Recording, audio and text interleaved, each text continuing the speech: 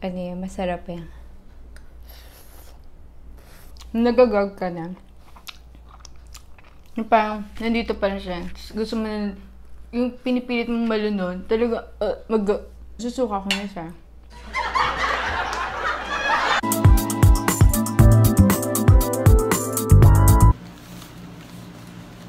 Hey, it's Abby, and welcome to my channel. welcome to my kitchen. Um, time check, it's 11.30 p.m. So, ayun. Ano ginagawa ko sa kusina ng 11.30? Ayun, magluluto ako. Today's, for today's video, it's gonna be a cookbang. Ayun, magluluto ako, tapos kakain ulit ako. Actually, mag-Netflix na lang dapat ako kanina eh. Kasi after dinner, ayun, nag, ah, ayan, nag-dinner na ako. after dinner namin kanina ni Kate, um, nag-edit ako ng two videos. Tapos sabi ko, after ko mag-edit ng two videos, mag-Netflix ako. Because sabi ko, ayun, syempre, hirap muna bago pasarap. ayun, tapos after ko mag-edit, di ko naman yan, parang natapos ako mag-edit, ano na, 10.30. Tapos, nagutom ako. So, eto, dahil nagutom ako, magluluto ako. At i-vlog ko na din siya. So, let's begin! Pasta in my kitchen again. Boiling na yung water for the pasta. Ito yung sikreto ko para sa mas masarap na shrimp aglio-olio. Yung shrimp heads, i-boil muna natin. Tapos, papakatasin natin siya. Yun, nakasalo na yung pasta natin, spaghetti. Tapos, I'm gonna show you my top secret. Ito yung secret ko talaga para mas masarap yung yung aglio natin. I-add ko to mamaya. Um, ano to ha? Yung ulo ng hipon. Shrimp head. Ayan. Papakatasin natin siya. Tapos i-add natin mamaya sa pasta. Ayan, para mas malasa siya. And here are the ingredients of my shrimp aglio olio. Garlic, lemon, um, chopped parsley, shrimps, and ito yung shrimp stock, yung ginawa natin kanina, yung pinakuluan ko na ulo ng mga hipon. Tapos, hindi ko na ba't ako natawa? and kung gusto nyo manghang, um, pwede kayo maglagay ng chopped chilies or ako gagamitin ko ngayon ano um spa, uh, chili powder tapos ayan salt Italian seasoning kasi wala akong fresh ano basil or ano olive oil pepper ayan. let's begin earlier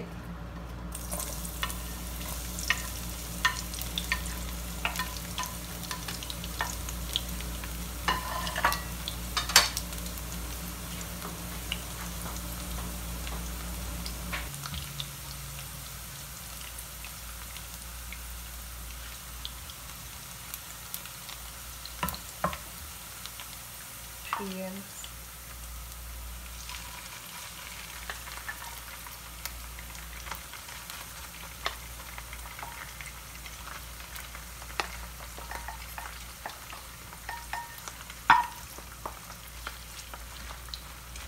Shrimps will usually take um, ayan, 3 to 4 minutes lang.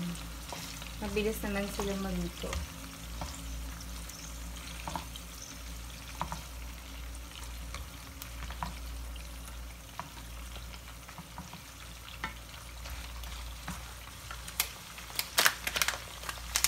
Add our chili powder.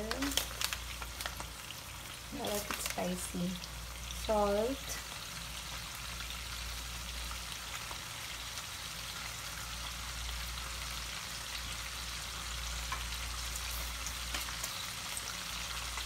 Pepper. The seasoning.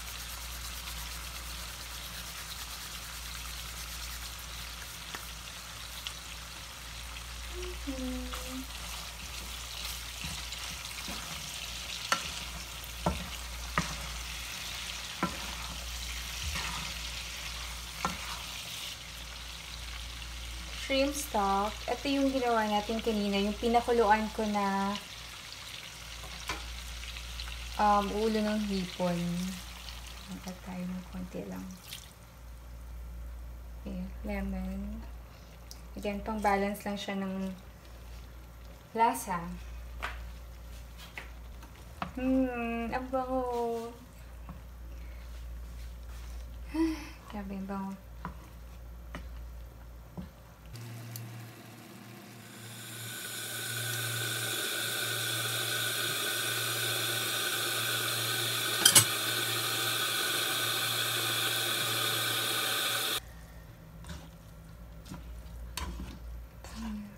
Diba? Sobrang, sobrang dali. Napakabilis gawin.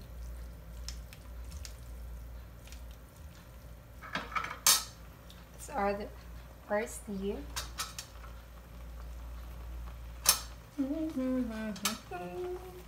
Diba? Mapapakanta ka talaga eh. Papakanta ka sa sarap ng niluto mo. Okay. Mix. Ready to serve.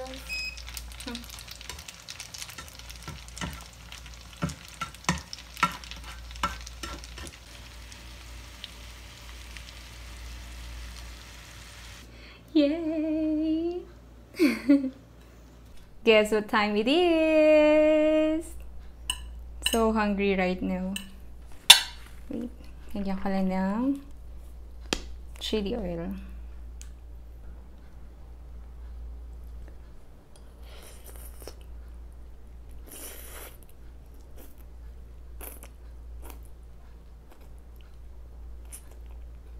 Mm. Mm. Sabi, napakasarap.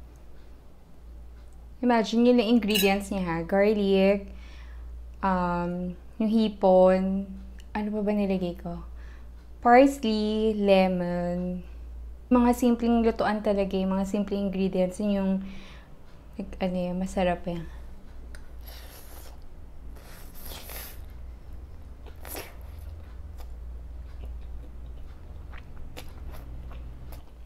Fear pa yung pasta.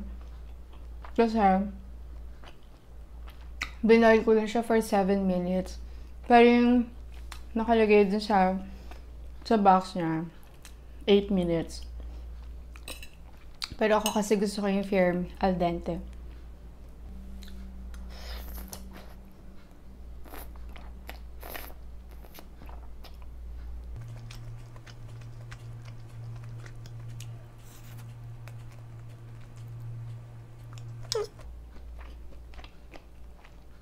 Yung shrimp tender and ano ba? Moist. Kasi hindi siya na-overcook.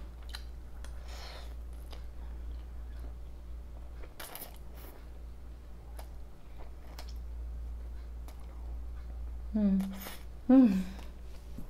Pasensya na hindi na ako nakapag-ayos. Nakapantulog na nga ako. Nagutom lang talaga yun. Ayun, naka-ready na kasi talaga ako kanina mag-Netflix. Sabi ko, okay, after ko mag-film ng dalawang videos, excuse, mag-Netflix na ako. Ayun, after dinner namin kanina, nag-shower na ako. Tapos, nakapag-skincare na din. Ayan.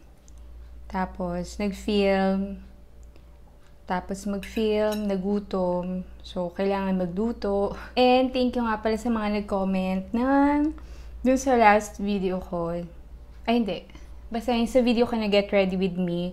And yung sa apple cider vinegar, yung secret ka sa, sa buhok.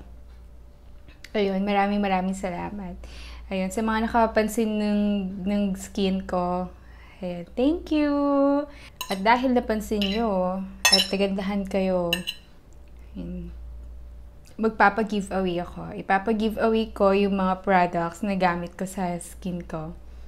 hintayin lang natin matapos tong pinagdadaanan natin lahat. Hintayin lang natin ma-relax.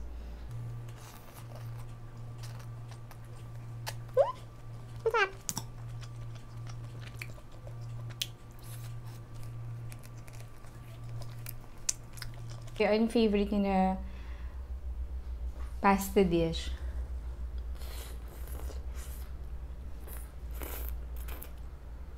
Kasi ako talaga, mahilig ako sa oil-based pasta. Ano ako sa tomato pasta. Mga red sauce pastas. Pero mas gusto ko yung oil-based. Kasi madaling gawin, mabilis. Parang pag nag-crave ka, diba, may olive oil ka, may garlic ka, go na. Hindi ako mahilig sa mga creamy pasta, carbonara, pero gumagawa ko ng carbonara. And yung carbonara ko, gustong gusto ng mga Japanese. Hindi ko alam kung bakit. Ayun, yung carbonara ko, gustong gusto ng mga Japanese. Gusto, gustong gusto siya ng mga in-laws ko. Ayun, gustong gusto nila yun kahit um, lahat ng ingredients na gamit ko, except sa, sa meat, lahat yun galing dito sa Pinas. Tapos doon ko niluluto. Dinadala ko doon. Gustong gusto nila. As in, nire-request talaga nila yun sa akin every New Year party. Hindi ako kumakain. yeah, ayun. Hindi ako kumakain. Kasi ayoko ng ano, ayoko ng makrimi. Ayoko ng gatas. Hindi ako minum ng gatas. Um, ano ba ba? Hindi ako kumakain ng cheese. Eee. Ayan. Sa mga may hilig sa cheese. Ang dami kong kaibigan na mahilig sa cheese eh. So, mahilig sa cheese, hmm, buti pa kayo. Yun, hindi ko alam bitaw hindi ako ngayon. Basta nasusuka ako. Kahit gatas, parang offeran mo ako ng 1 million, papainumin mo ako ng isang isang basong gatas, sa'yo na isang million mo. parang torture sa akin yun.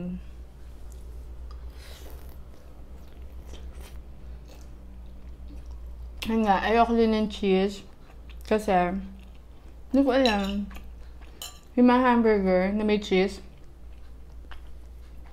cheeseburger, hindi ko makain.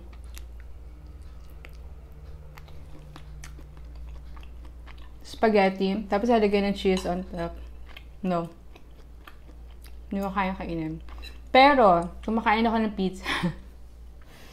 yung, basta ano ha, mozzarella, yung nasa taas, nasa, yung gamit. Yun lang.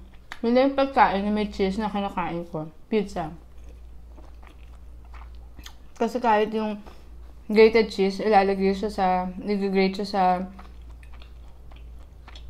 sa sauce ng pasta. Hindi ko carry. Nag-iyak ako. Ito talaga, naiiyak ako. Nagagag ka na. Parang, nandito pa rin siya. Gusto mo na, yung pinipilit mong malunod, talaga, uh, mag, susuka ko na siya. Wala akong allergy sa cheese, ha. Um, hindi din naman ako lactose intolerant, pero ayoko lang talaga siya. Kaya, pag nag-wine kami ng mga friends ko, tapos nag-cheese sila, alam mo, ingit na ingit ako, na wish ko, sana, kumakain ako ng cheese. Ayun. Alam mo, papaubos na naman. diba? Hindi ko namamalayan. Abangan nyo, abangan nyo yung ano, yung pag-giveaway ko ng skincare products na gamit ko din.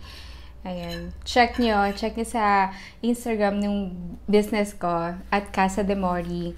Ayun. Check nyo din. Mamili kayo. Tapos, ayun. Check nyo kung ano yung mga gusto ninyo. Tapos, ayun. And then, comment down below kung anong gusto niyo ipa-giveaway ko. Ayan. Nasaya-saya nun mga sis.